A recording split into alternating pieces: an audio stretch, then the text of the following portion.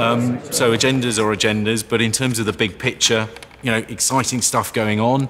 Um, good afternoon, everyone. Um, I trust you all got the agenda that I sent through last week.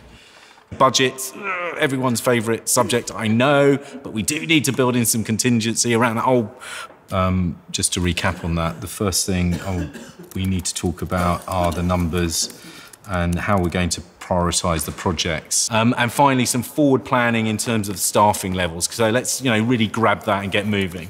Okay, so all exciting stuff. If we're all on board with that, let's you know kick off and start start getting moving on that. Okay.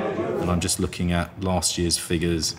If I compare them to where we are now, again, that's something that we should look at in more detail.